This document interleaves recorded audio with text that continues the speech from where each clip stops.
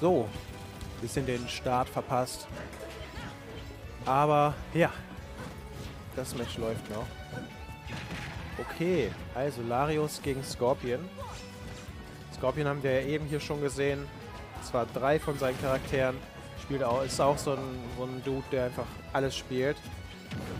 Und jetzt im Moment, ja. Gerade den Stock verloren. War bis eben noch so ziemlich even. Diesmal haben wir in der ganzen Top 12 Best of 5. Wenn wir mehr Leute hier haben, dann ist es meistens Best of 3 noch in der ersten Runde bis Top 8. Äh, ja, wir sehen, dass Larius hier jetzt auch den ersten Stock verloren hat, aber auch schon 60% auf Scorpion hat. Und auch direkt weitermacht. Gucken, ob er hier den Kill bekommt. Nein, das reicht nicht.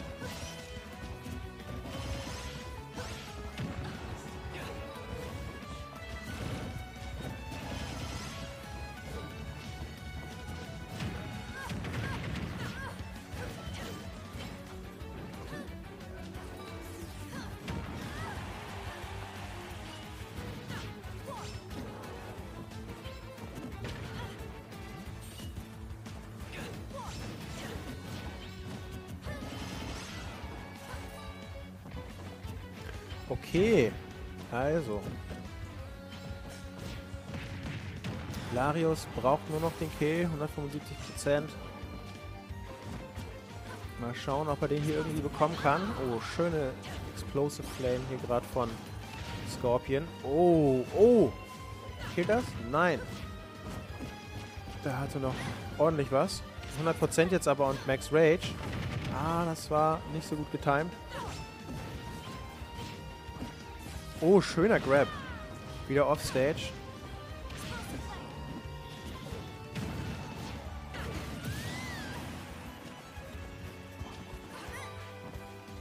Okay, also auch hier verliert Scorpion zuerst den äh, Stock, aber 130% ist schon nochmal anderer Schnack als 80. Da gibt es dann schon das eine oder andere, was killt.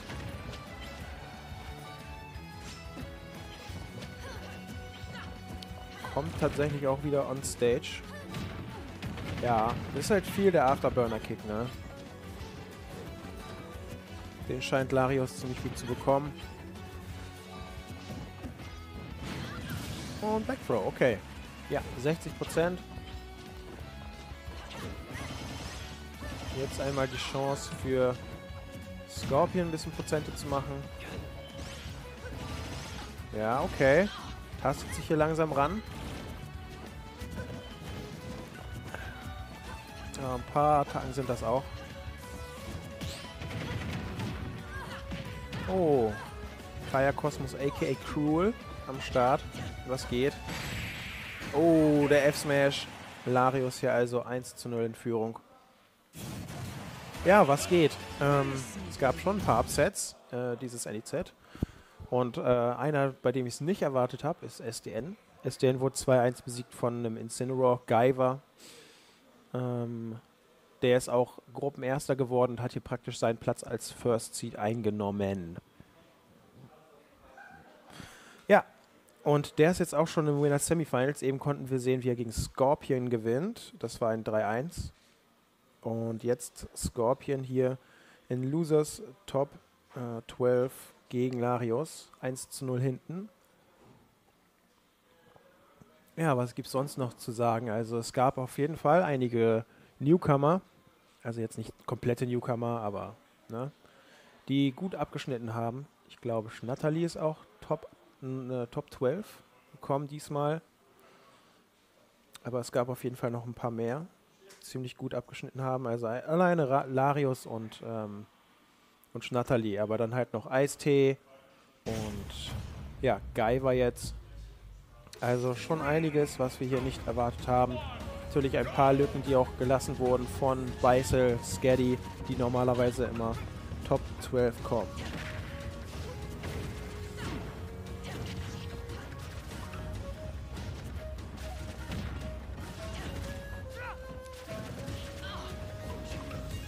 Okay, Game Nummer 2. Die Musik kenne ich überhaupt nicht. Ich habe keine Ahnung, welche das ist. Aber wir sehen auch hier, dass Scorpion auf sein Main wechselt. Pit Dark Pit. Diesmal Dark Pit. Wird aber auch jetzt äh, hart gekombot, allerdings von den Prozenten her ziemlich even. Ich kann mir vorstellen, dass das auf jeden Fall ein ganz guter Switch war. Da einfach mit diesem Charakter gefühlt einfach viel besser im Neutral ist. Generell einfach ein Neutral-Charakter. Oh, muss gleich worken. Naja, kannst ja trotzdem auf dem Handy, ne? Stream weiterschauen. Man kennt's. Und cool, dass du reinguckst trotzdem. Ey, hier, Cruel, was willst du denn sehen als nächste Begegnung? Was willst du denn sehen? Gibt's da irgendwas? Ich weiß nicht, ob du das Bracket gerade offen hast.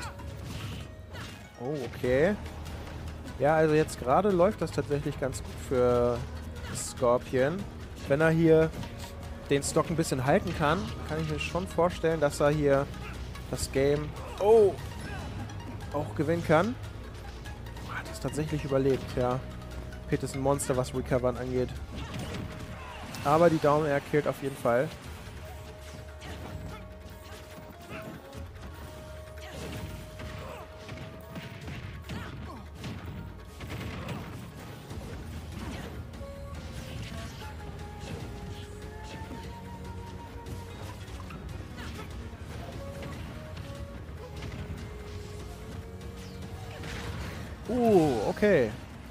F-Smash.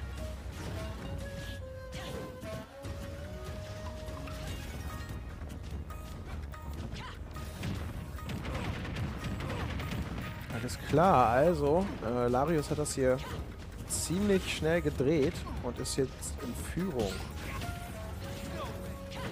Macht hier auch ordentlich äh, Damage, hat ein gutes äh, Momentum. Und Scorpion hat gerade ein bisschen Probleme damit zu killen. Side B killt auf jeden Fall, aber sie muss eben auch treffen.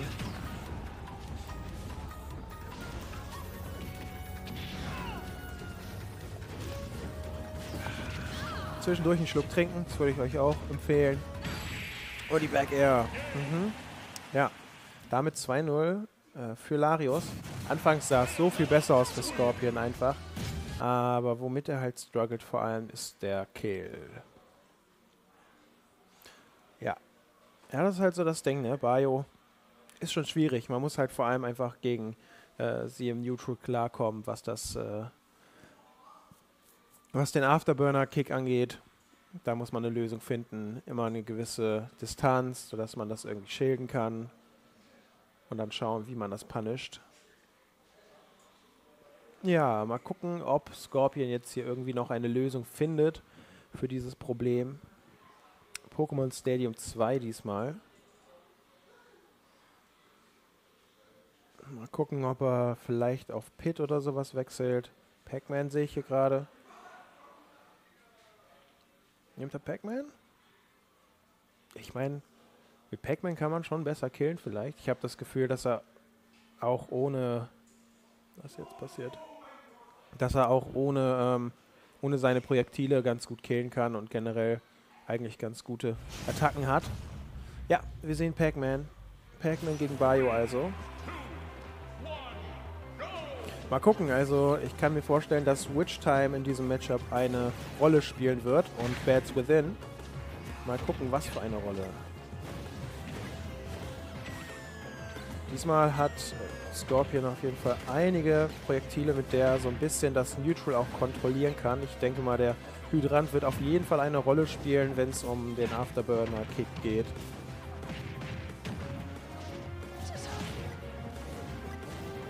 Vielleicht sogar der, ähm, das Trampolin. Ich kann mir eigentlich vorstellen, dass das Trampolin ganz gut gegen Bio ist.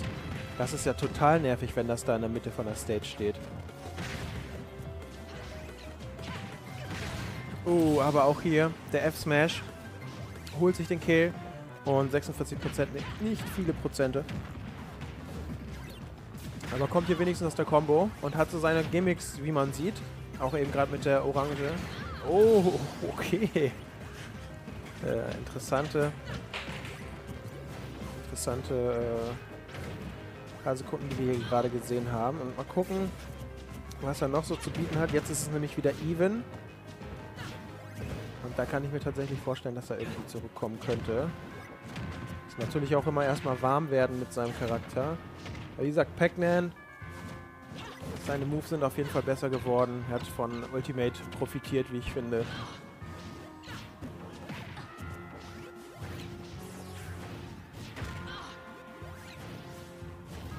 Das Trampolin habe ich aber tatsächlich noch gar nicht gesehen.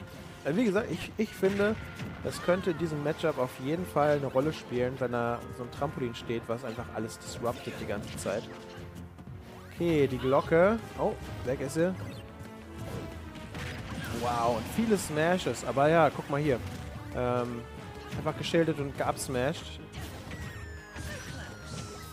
Und hier ähm, jetzt eine ziemlich gute Lead gerade für, für Scorpion mit Pac-Man, wenn man eine Lead hat, also ein ganzes Stock-Lead hat, auf jeden Fall kann man super vorsichtig spielen. Ne? Also einfach den Hydranten rausholen und dann äh, ab geht's. Aber jetzt gerade entscheidet er sich dafür, den Hydranten nicht rauszuholen. Gucken. Ah, okay. Larius hier mit der Chance. Versucht's auf Stage. glaube ich, nicht so leicht, die Attacke zu punishen. Oh, okay. Wurde hier tatsächlich von der Glocke getroffen, aber kein Punish. Scorpion wollte einfach möglichst viel abdecken gerade. Ah, der F-Smash. Sour Spot. Da ist die Glocke wieder. Wieder getroffen und da ist die Backer. Diesmal der Punish und diesmal der Kill und ein Two-Stock. Okay. Also Two-Stock ist natürlich immer ja, schon ein Statement. Mal schauen, was sich äh, Larius da überlegt. Äh, muss da auf jeden Fall äh, mal überlegen, was er, was er da machen kann. Ob es eine Stage ist oder ein äh, anderer Charakter oder halt ein Playstyle, der sich ändern muss. Da bin ich mal gespannt, wie hier die Lösung aussehen könnte. Wir schauen wir das mal ins Bracket. Okay, SDN hat gegen Splash Mage gewonnen. Ist damit im Winner Semis. Bin ja mal gespannt, ob Guyver und SDN im äh, Grand Finals nochmal spielen. Ich kann mir auf jeden Fall vorstellen, dass es schwierig ist, gegen Incineroar zu recovern wegen Revenge. Oh, okay. Wir sehen die, also tatsächlich ein Character-Pick und Town City haben wir auch noch. Ähm, Town City ist, glaube ich, aber auch für Pac-Man ziemlich gute Stage. Ähm, aber interessanter Pick. Wir haben ja jetzt also Rosalina und Luma. Ist vielleicht so ein bisschen besser einfach gegen Projektile.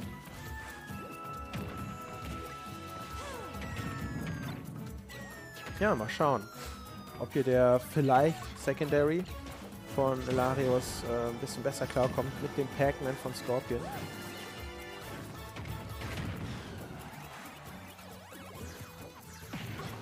Silver Bracket hat auch schon gestartet.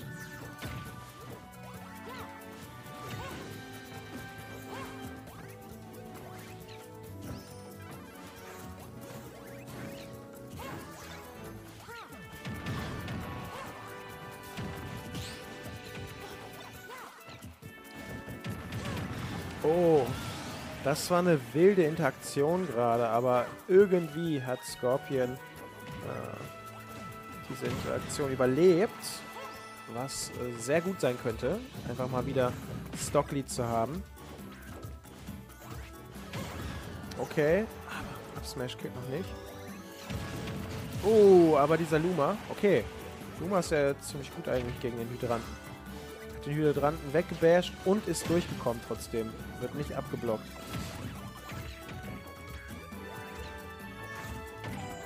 Also es äh, bleibt tatsächlich spannend. Es ist genau even.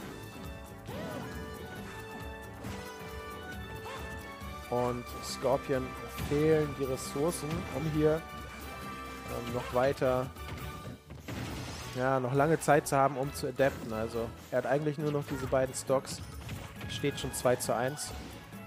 Deswegen muss er hier schnell eine Lösung für diese Rosa finden.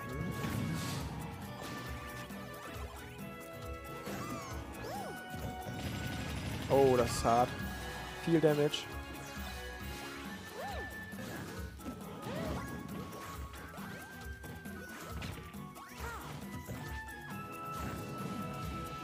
Okay, da ist wieder der Hydrant. Der Hydrant lädt immer so dazu ein, dass man einfach rein smasht. Das wiederum kann gepunished werden. Gucken, ob Scorpion damit anfängt, hier Traps zu legen. Okay. Gallagher. Oh, okay. Hier ein Opening. Ah, das hätte sein können, ne? Das hätte vielleicht der Kill sein können. Oh, das könnte ihn killen. Nein, das killt er überhaupt nicht.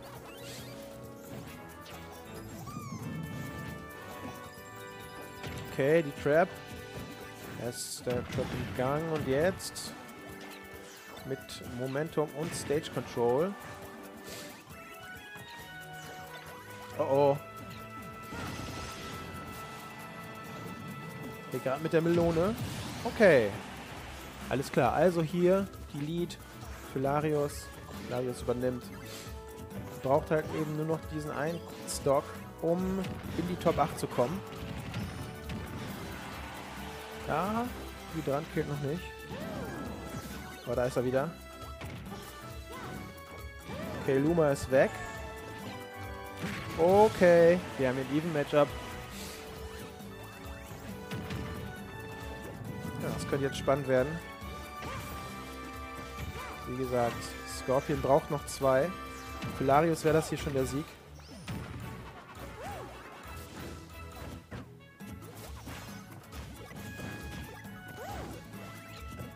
Ja, Rosalina natürlich ein Charakter, der gerne juggelt, sharkt, aber man möchte nicht unbedingt unter Pac-Man sein, weil eben immer dieser Hydrant kommt. Also dem muss man sich bewusst sein. Der kommt immer runter, jedes Mal.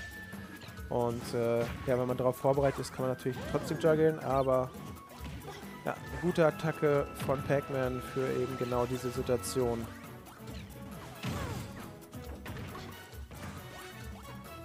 Okay. Hat sich hier nicht dafür entschieden, äh, Luma wegzukillen. Oh mein Gott.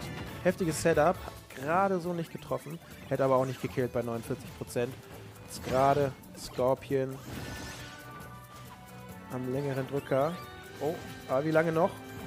Okay, also er kennt sich auf jeden Fall mit dem Movement von äh, Pac-Man aus. Weiß hier, wie er ein bisschen stallt. Timeout wird das allerdings nicht werden. Okay, jumpt rein. Ah, Luma hängt fest. Okay, Luma ist weg. Rosa natürlich in Smash Ultimate ein bisschen weniger abhängig von Luma. Also auch alleine immer noch ein ganz guter Charakter. Und da ist auch schon der nächste. Okay, wir haben hier noch gar keine Schlüssel gesehen. Das finde ich ganz interessant. Aber es könnte natürlich an der Downbeat von äh, Rosa liegen.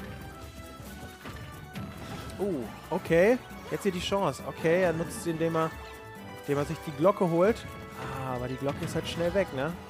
Wird er tatsächlich auch getroffen. 132% jetzt. Bleibt hier erstmal auf Gallagher. Okay, gut abgedeckt. Okay, diesmal haben wir den Schlüssel. Oh, schön gemacht. Ich dachte, da kommt sofort der Schlüssel. 59 Sekunden waren noch auf der Uhr. Okay, wir haben das 2 zu 2. Ähm, der Pac-Man scheint ganz gut zu funktionieren. Äh, die Rosaline hat hier an der Stelle nicht gereicht. Sah im zweiten Stock schon so aus, als ob er vielleicht die Lead übernehmen würde, aber ja, so ist Pac-Man. Da muss man sich wirklich äh, bewusst machen, was man nicht machen darf gegen diesen Charakter und äh, wie er was abdecken kann. Äh, Pac-Man ist halt praktisch wie so, ein, ähm, so eine Bücherei von Tricks. Er hat so viele Tricks, einfach mit dem Wasser und den anderen Projektilen. Ähm, da kann man dann teilweise in einem Matchup äh, oder in einem, in einem Game oder in einem Set auch nicht alle Tricks äh, kennen einfach. Mal gucken, ob er sich nochmal irgendwann auf den Hydranten draufstellt. Da gab es auch ein paar Tricks, dass er dann irgendwie einen F-Smash macht und dann wird er hochgeblastet vom Hydranten und wird, kann nicht dafür gepunished werden. Mal gucken, also wir sehen auf jeden Fall wieder die Bayonetta. Ist, glaube ich, auch die richtige Entscheidung gewesen. Ähm, so Secondaries schwächeln meistens ähm, in the long run. Also die Bayonetta ist wieder da. Dann ist natürlich die Frage, wie wird er mit dem Hydranten klarkommen? Auch hier wieder getroffen worden. Kommt hier merkwürdige Situation. Oh, da ist der, das, das Trampolin.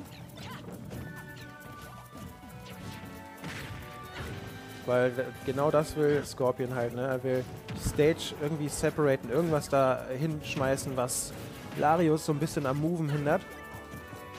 Im Neutral. Weil er eben bisher gegen Pit und, weil er gegen Dark Pit und äh, Palu immer gut mit der Side-B vorankam. Wenn er das äh, verhindern kann, dann hat er gute, hat er gute äh, Siegeschancen. Was, äh, oh, schöne Back Air. Was gut geklappt hat für Larius in dem ersten Match mit, oh, tot, safe, ja. Äh, gegen Scorpion oder gegen Pac-Man ist der F-Smash. Ist auf jeden Fall auch eine Win-Condition, die erfüllt sein muss für Scorpion. Er sollte sich hier nicht irgendwie groß vom F-Smash treffen lassen. Wobei ich so ein bisschen vergessen habe, wie er in diese Situation reingekommen ist immer. Okay. Das könnte Damage bedeuten, aber unterbrochen von Larius. Das ist ein Hin und Her gerade. Sehr even. Okay, vier Stunden Pac-Man-Coaching lese ich hier gerade im Chat schon.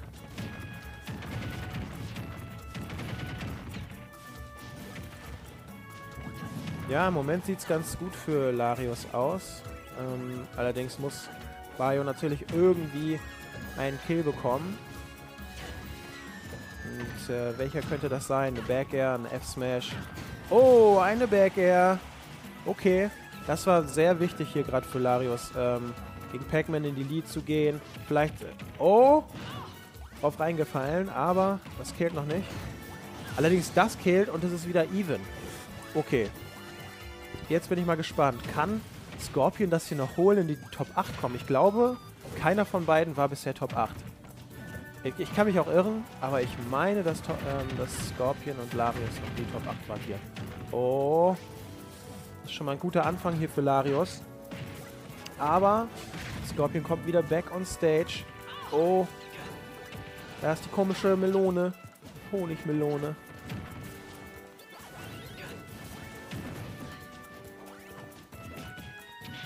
Okay, wichtig. Uns Offstage bekommen. Versucht da aggressiv zu sein, aber... Oh, kommt er da noch rauf? Ja. Okay. Wild. Wildes Set auf jeden Fall. Scorpion vielleicht mit dem Reverse 3-0 gerade. Er hat die Chance. Er hat äh, eine kleine Lead prozentmäßig. Oh,